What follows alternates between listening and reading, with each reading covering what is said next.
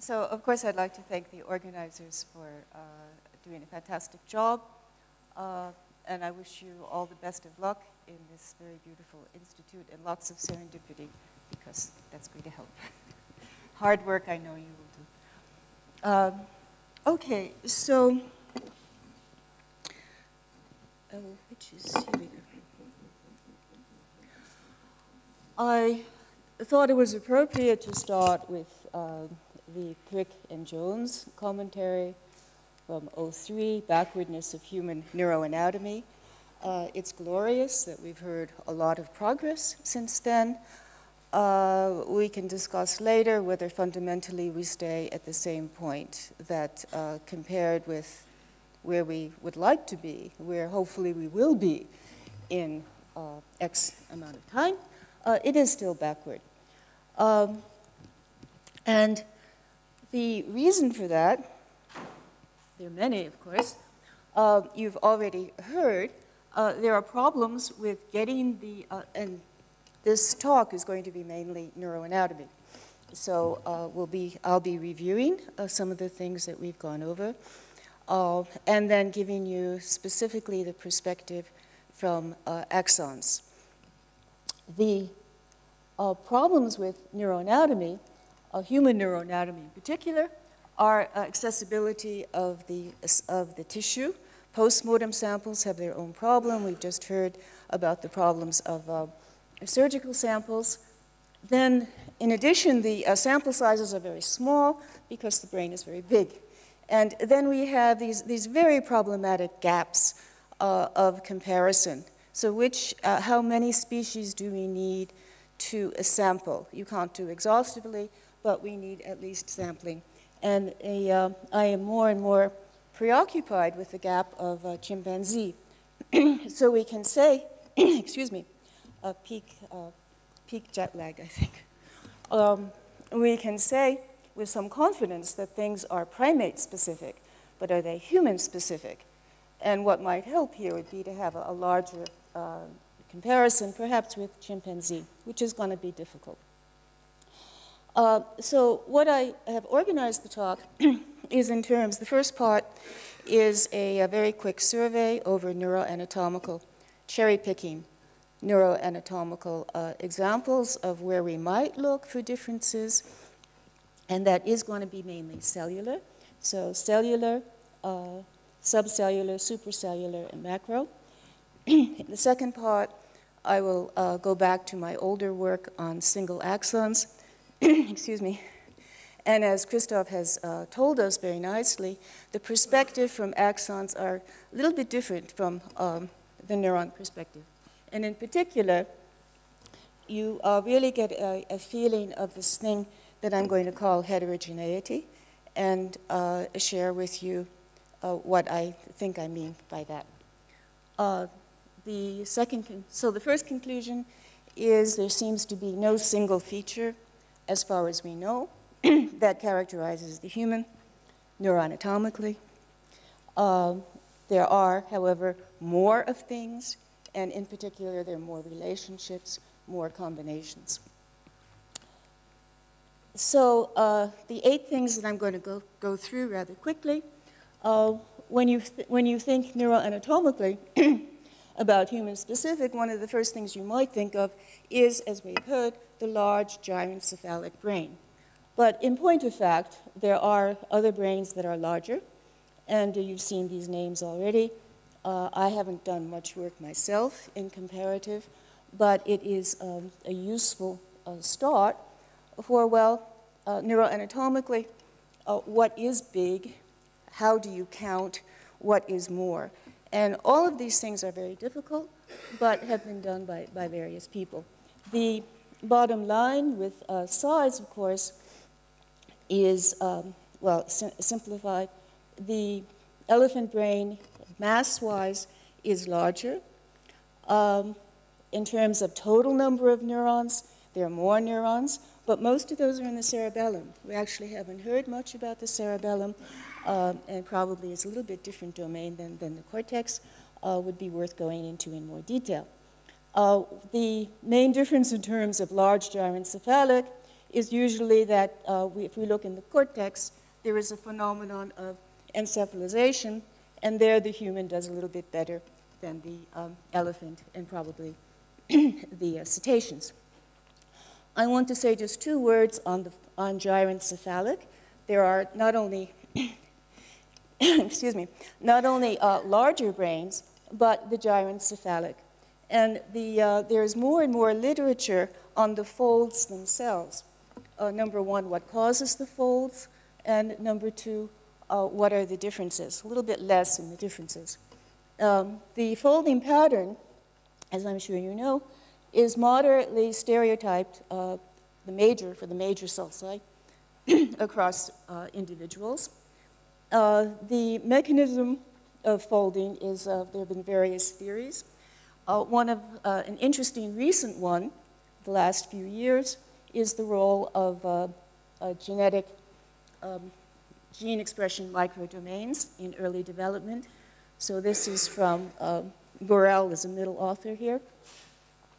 Deletion of this cellular adhesion gene uh, will result in rather dramatic folding in mouse.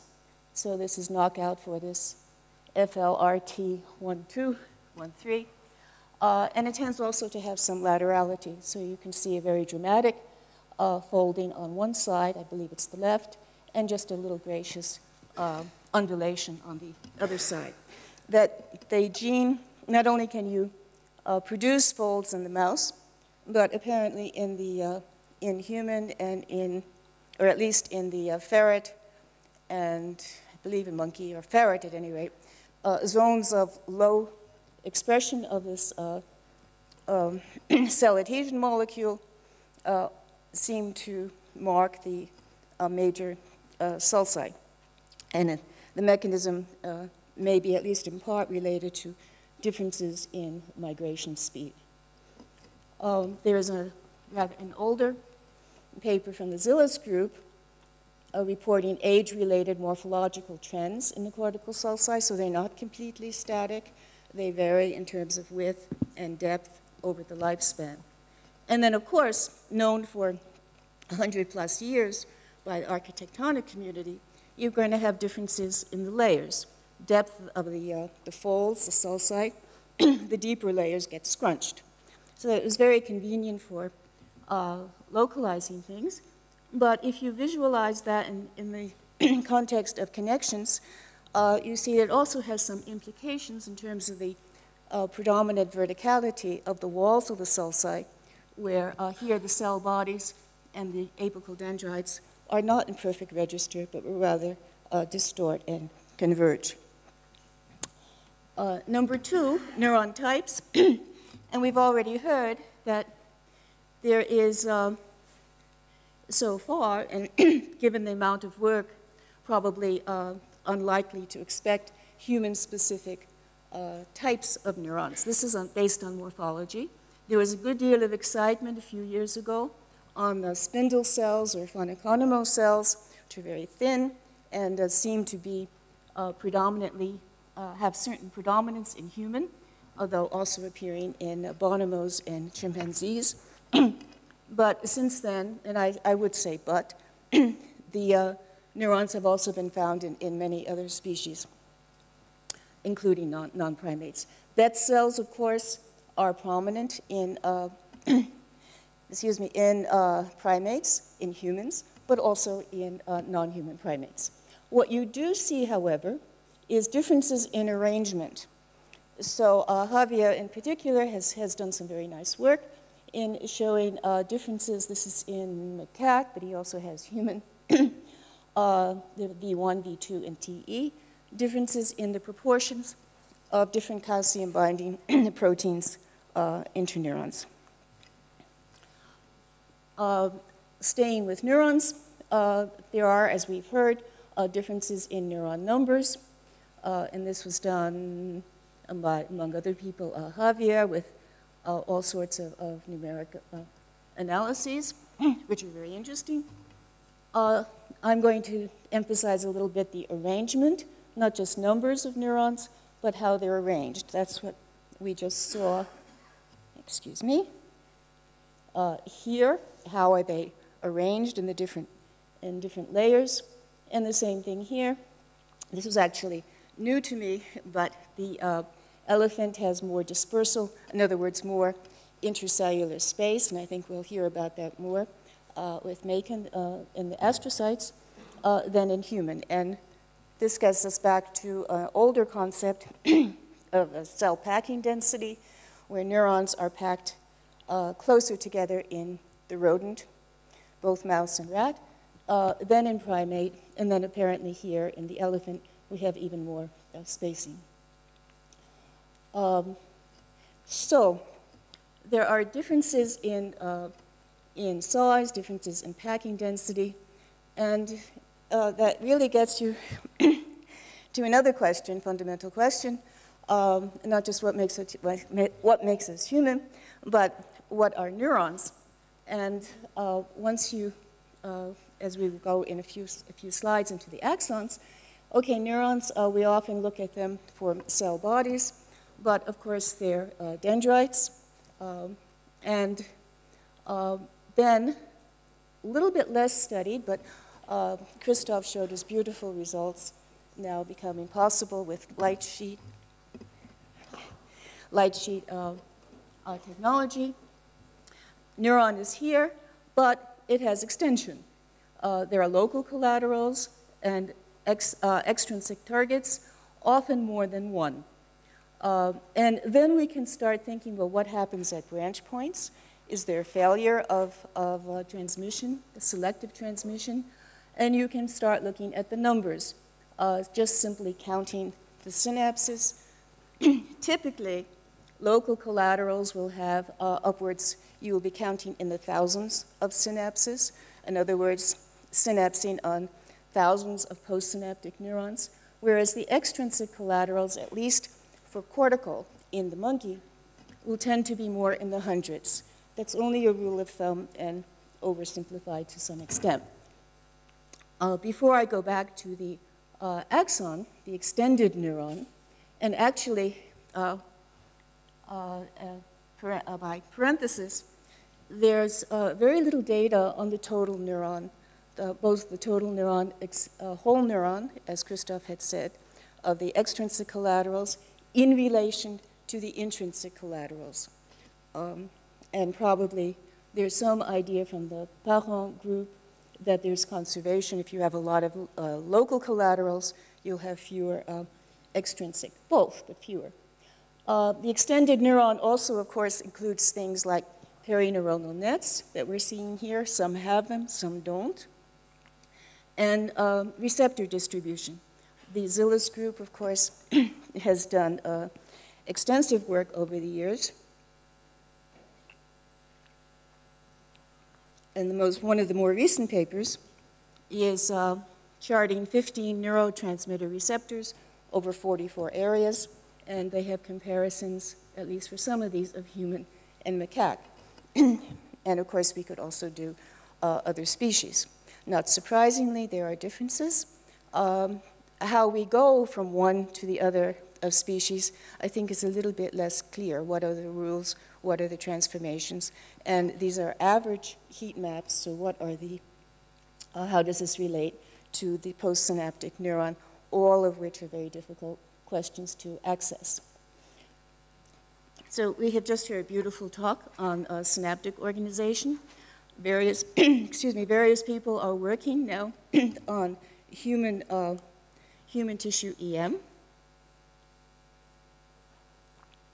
Uh, Javier De Felipe, for one, and uh, this was a slide from uh, Joachim Lübke at uh, Jülich comparing uh, synapses in rat, uh, in rat somatosensory cortex versus in human. And they have identified what seem like functionally significant differences. The active zones in human are larger, total pool of vesicles is larger. There are more synaptic contacts he also reports astrocytic in, in, in, uh, ensheathment. So altogether, does this, does this anatomically suggest a high synaptic uh, efficiency? Is it human specific? Well, this says difference between human and a rat. uh, and then we have gaps. What about the other species and other areas? Uh, I think I'm going to go quickly over this part, that uh, there's a lot of modular organization in the cortex, not just verticality, but different grouping.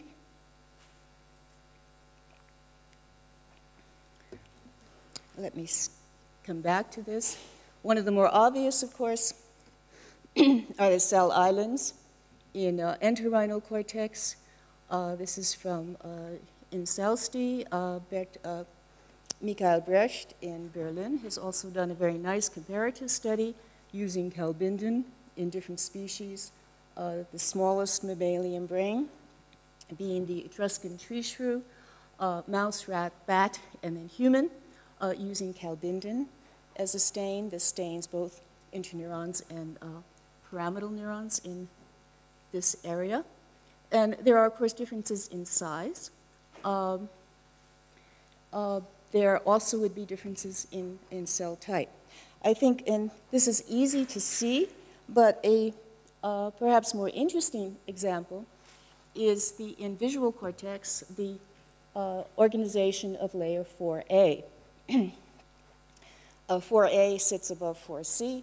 It is a geniculate recipient, and uh, Todd Preuss, years ago already, had done a, a battery of, of uh, stains, basic uh, stains in postmortem tissue uh, for calbindin, uh, non-phosphorylated neurofilament, and showed a wide variety of organization in this layer in the different uh, primate, subprimate, and primate species. His point was that the 4A in human was different than 4A in the other animals. Um, neurochemically, and also in a way that seemed to suggest that this was a different organization of the magnocellular versus the uh, parvocellular uh, pathway. So this again comes back to the theme of how things are arranged. You may have the same elements, but they're arranged in different uh, ways. Uh, a seventh example, going down the list, is of course neurochemistry. and I could have given, if I were working in that area, a whole talk on the uh, differences in uh, neurochemistry in the different cortical areas, different cortical layers. Uh, if I remember correctly, serotonin is preferential, is, is densest in, this, in the temporal regions, and uh, dopamine in the frontal, noradrenaline in the parietal areas. We could go finer. But uh, an interesting example, as an example, is neurochemistry of the thalamus. So this is from uh, Carmen Cavada, uh, comparing the um, uh, macaque and rat. Uh, the red stuff here is showing you dopamine concentration, which is obviously much higher in the thalamus in the monkey than in the, in the uh, rat. That has implications, of course, for how the thalamus is going to be interacting with the cortex. Another major difference, uh, which um, we know, but I, I, don't know really has been uh, exploited, is a lack of GABAergic neurons in the rodent, uh, with the exception of uh, the lateral geniculate, uh, compared with the uh, primate.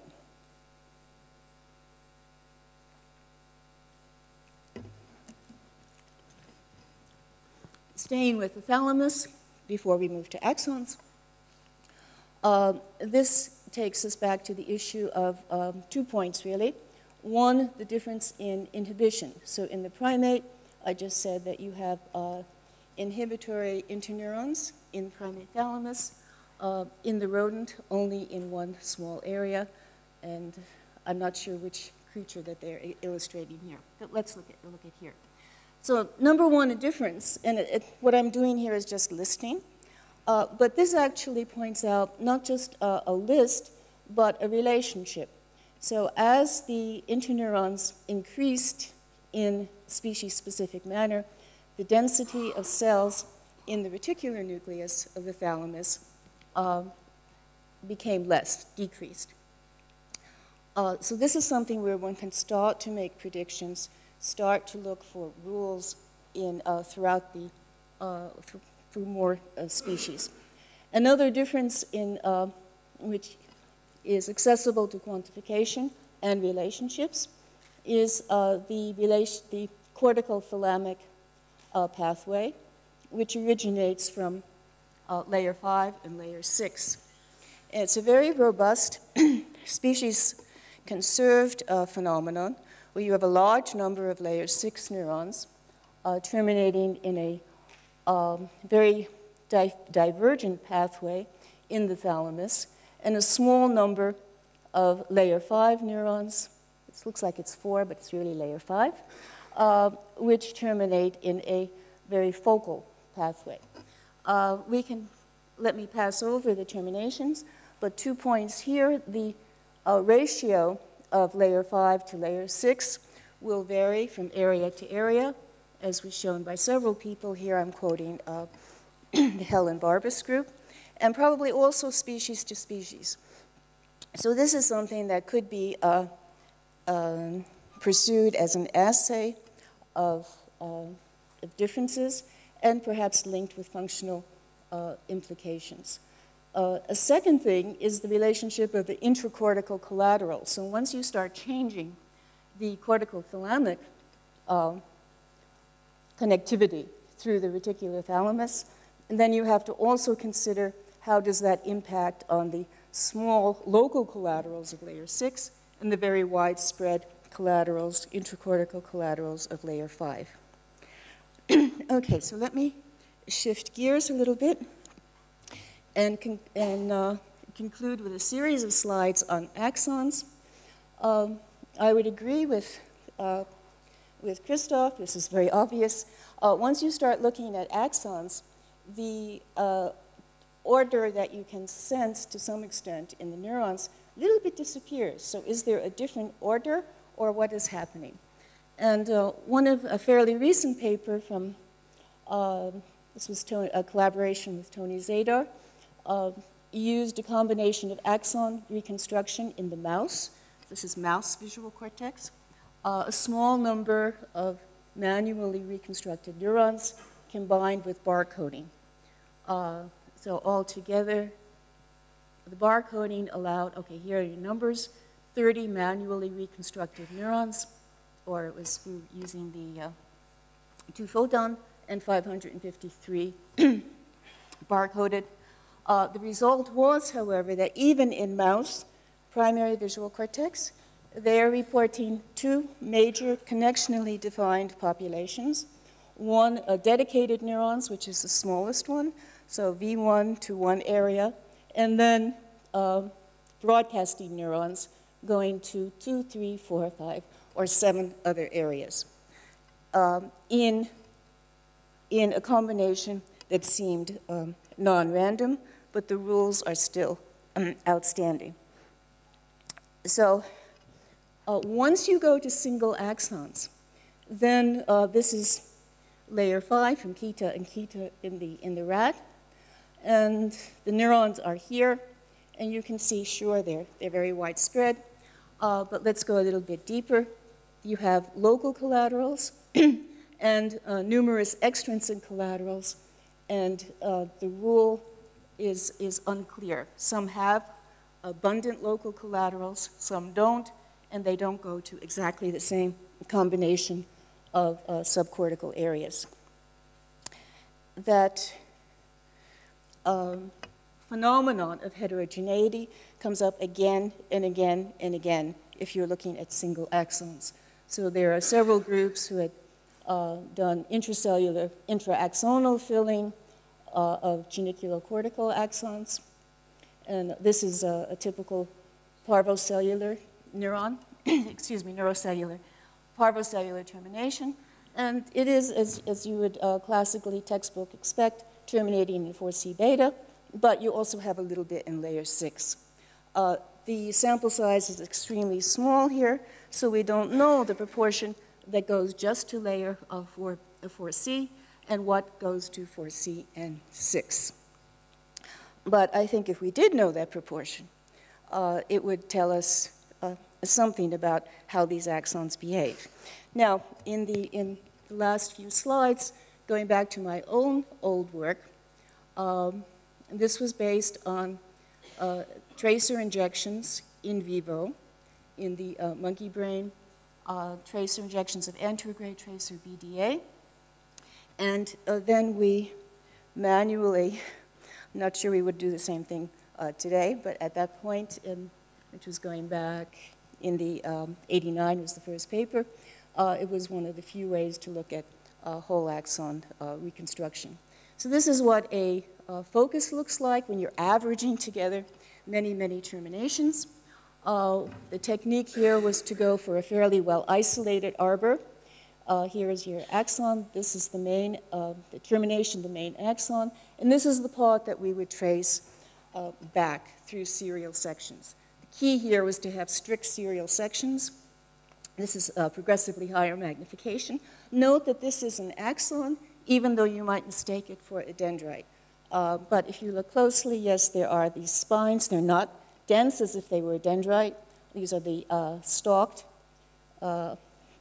uh, terminaux. And then you also have the beaded. It's a mix of stalked and beaded uh, terminations.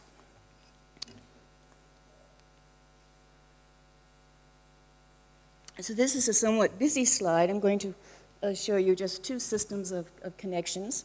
Uh, these would be feed forward, I suppose, uh, V1 to V2 in monkey, and then we're going to look at V1 to MT. Um, I think we can just concentrate here. The point is, from one injection site, uh, these are low magnification horizontal sections showing your injection site, and the arrow, this is V1, we're going to V2, not very far distant. Um, the neuron is lost in the injection site. We don't have the local collaterals, although we know from other material that the collaterals would be probably two to three millimeters from the each side of the neuron. Um, but this was going back quite a ways now, 1990. Uh, I don't know the relationship of the neurons in the uh, injection site. They could be near each other, they could be a little bit far. They are probably layer three, and the arrows are showing you uh, one focus of, of uh, converging neurons. This is from animal 7, uh, and the number is the axon. The other number that's important to note, and I don't think you can see it, is these are 50 micron sections. Uh, every 20 numbers, in other words, gives you one millimeter in the Z, collapsed Z direction. Uh, and the numbers, which are too small here to see, uh, would allow you to read that Z connection in the uh, decades before we had light sheet. Uh, but notice here, and these were axons uh, that we did follow back a little bit further, so we know that they're not branched.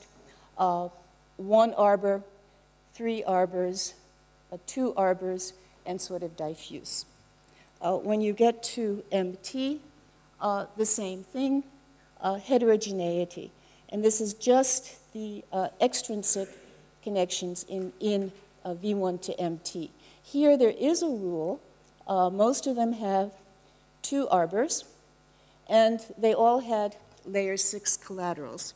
So unlike your, your standard early visual pathway, it is not just a layer three to layer four, but a four and a little bit layer six. Uh, these neurons, of course, uh, they originate from neurons in NV1, uh, and those cells are known to project, uh, this is in Marmoset from another group, using retrograde tracers. And potential targets are V1 to MT, another extrastriate area superior colliculus. Using retrograde tracers, they found that the projections were in all combinations. this was my attempt to superimpose this is not from the same neuron, but an extrinsic connection in uh, MT and the intrinsic arbor in uh, V1. These neurons in, uh, from uh, cells in layer 6 are uh, extremely specialized. So here is your uh, collateral tree, wider even than the, um, the standard V1, layer 3 or layer 5 in the primate. And I think, oops, to conclude, oh no, okay. Can I get back to the last, last uh, slide?